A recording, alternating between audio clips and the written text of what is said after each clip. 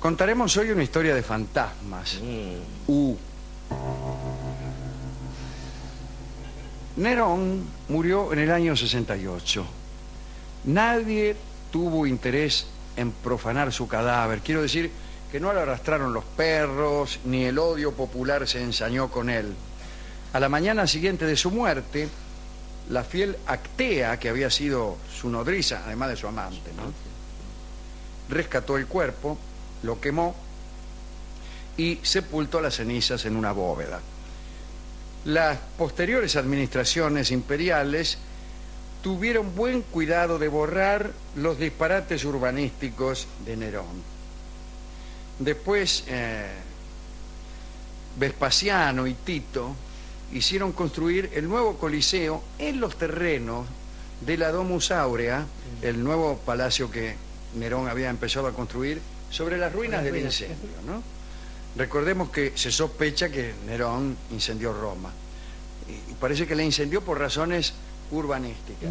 O sea que ese criterio de una gigantesca destrucción sobre la cual se edificaría un lugar mejor, no es nuevo. No es nuevo. Los ingleses lo hicieron después con cierto éxito, ¿no? Hasta que vino el arquitecto Wren. Es verdad. Eh, el nuevo Coliseo, eh, construido por eh, Vespasiano y por Tito, es el que conocemos nosotros, el de las fotos. Ese vino después de Nerón. Bien. No hubo emperador posterior que no aprovechara los restos de las construcciones, no solo de Nerón, sino de cualquiera, en beneficio propio. Trajano, el gran Trajano, aquel en cuyo reinado el imperio alcanzó su mayor extensión. El extranjero, además, en ser coronado el español, Trajano. Claro, español. Terminó de liquidar la arquitectura de, Nerón, lo último que quedaba, los últimos ladrillitos, los últimos mármoles, edificando sus termas. Eh, todavía en la Edad Media y aún en el Renacimiento, los mármoles romanos se utilizaban para construir desde iglesias cristianas hasta villas de macanudos. Sí, este, el Coliseo fue saqueado brutalmente. El Coliseo y, el, famoso y mucho mayor Circo Máximo, que era totalmente de mármol y que tenía una capacidad de más de 200.000 espectadores, no era como una cancha de fútbol, sino más bien como un hipódromo. Era, una, era baladito. Porque era en realidad un, hipódromo. y bueno, no quedó nada de eso. ¿Por qué? Porque fue usado como cantera. Claro. Como cantera. Y aún en tiempos bastante cercanos, como puede ser el Renacimiento, quedaban algunos de estos mármoles que eran usados, como, como acabo de decir. Ahí, Muy bien. Lo que no resultó fácil de aprovechar fue el fantasma de Nerón. Mm. ¿Eh? Aunque algunos han asegurado ver al espectro del emperador revoloteando este, cerca del, del Tevere, eh, todas las crónicas apuntan a que el lugar donde enterraron las cenizas fue otro. Mm. La explanada de la que arrancaba la vía Flaminia, eh, eh, parece que allí fue donde depositó Actea la urna con las cenizas de Nerón. Se ha visto pasar al fantasma de Nerón como ráfaga, dejando caer un leño encendido. Cuando pasa algo así como una ráfaga y se cae un leño encendido, eh, estamos ante la certeza de que se trata del fantasma de Nerón. Este es un método científico. Dicen que el leño encendido, que deja caer Nerón, es también fantasmal, lo cual facilita muchísimo las cosas. Jamás se lo ha visto vistiendo toga mm. al fantasma de Nerón, sino con una pesada coraza. Lo de pesada es inapropiado. Absolutamente. Eh, este fantasma se ríe y sangra. Ajá. Eh, no porque haya una relación de causa-efecto entre una cosa y la otra. A menos que Son dos actividades independientes. A menos que el tajo sea la sonrisa, ¿no? Podría ser. La forma de los viejos poetas decir pavada. Pero... No habla jamás este fantasma, pero a veces canta. El lugar donde se creyó enterrada la urna de Nerón se convirtió durante siglos en centro de reunión de hechiceros que buscaban inspiración para sus conjuros y ceremonias había allí un aquelarre muy famoso, uno de los aquelarres más concurridos de Roma. Eh, y es bueno que el hechicero sepa dónde ir a inspirarse. ¿Dónde ir a buscar? Ah, claro. No, no es Ah, bien. cualquier lugar. No.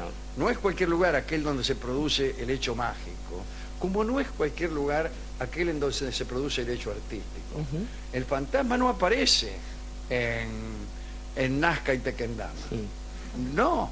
El fantasma aparece donde ha habido un- una, una fuerte historia. Véase la propensión de los fantasmas para habitar en teatro, por ejemplo, ¿no? Claro, porque allí ha habido mucha gente y ha habido mucho sufrimiento y ha, mucho- ha habido, ha habido mucho pensamiento y, eh, eh, y entonces las fuerzas mágicas pueden encontrar adecuada resonancia. Sí, la energía Pero vaya para usted eh, sí. a, a aparecer si usted es fantasma en la estación Temperley.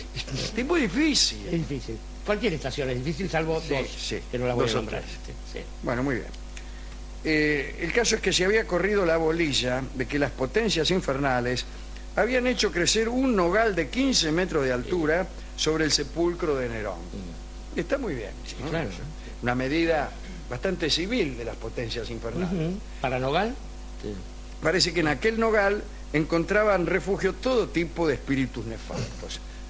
También se ha dicho que el fantasma comenzó a aparecerse rodeado de una corte de demonios que revestían la forma de cuervos negros y que era eh, este nogal un lugar de reunión espectral, puesto que hasta allí llegaban las, armas, las almas de los muertos del muro torto y también de otros mm, sitios así famosos por las presencias de ultratumba.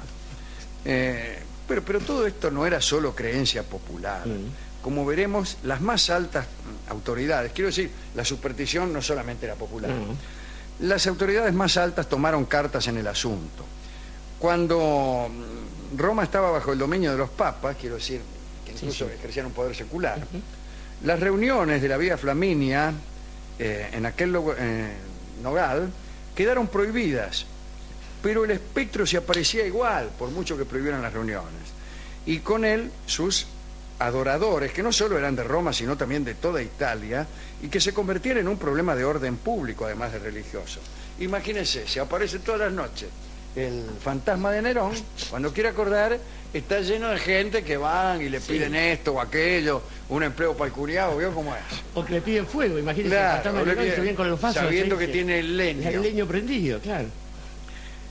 Muy bien, en el año 199, el señor Reiniero de Vida fue elegido para ser elevado al trono pontificio con el nombre de Pascual II.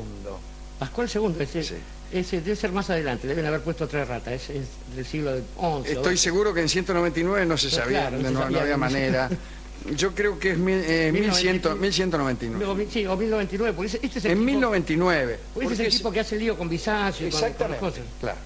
Eh, pero bueno, así estamos. El son los fantasmas. Así estamos. En el mismo año en que asumió, Pascual comenzó por imponer a la ciudad y asimismo un ayuno de tres días para comenzar con el conjuro. ¿no? Ah, la tercera noche, según dijo Pascual, eh, fue aquella en que se le apareció la Virgen y le dio precisas instrucciones acerca de cómo conducir la erradicación del desagradable fantasma. Al día siguiente el Papa llevó adelante una ceremonia espeluznante. Las crónicas cuentan cómo el Papa, entre los rezos de los cardenales y el terror de la muchedumbre, extrajo de debajo de aquel nogal las cenizas del muerto, que no era otro que Nerón, y las arrojó al Tíber, más o menos a la altura del actual puente Marguerita. Después, para conjurar definitivamente la aparición y en agradecimiento a la ayuda de la Virgen que hemos citado, mandó erigir sobre el lugar una pequeña capilla. Ah. Una pequeña capilla. El Papa Pascual tuvo una suerte más bien eh, geográfica, ¿no? Porque el, el espectro de Nerón dejó de aparecer allí, pero se mudó a otra parte. Eh, y algunos vecinos indignados fueron a tirar la bronca ante el Papa y le dijeron que Nerón se había aparecido en las cercanías del Monte Sacro. Justamente. Claro. Otros también indignados aseguraron que el emperador había aparecido por los alrededores de la Piazza Sembione. En cada lugar el Papa se hizo presente Sí, sí, claro, y se mandó unos conjuros, Sí. qué sé yo, no sé qué. parece que esta vez funcionó. La verdad es que los ciudadanos atribuyeron siempre más eficacia a los buenos oficios de la Virgen que a la enérgica ceremonia de expulsión, aunque es indudable que la idea de pedir colaboración a María fue de Pascual II. Este papa murió en 1118, por la cual resulta enteramente difícil Claro, que haya 1919. sido elegido en el año 199, lo cual tenía casi, longevo, casi mil años de vida.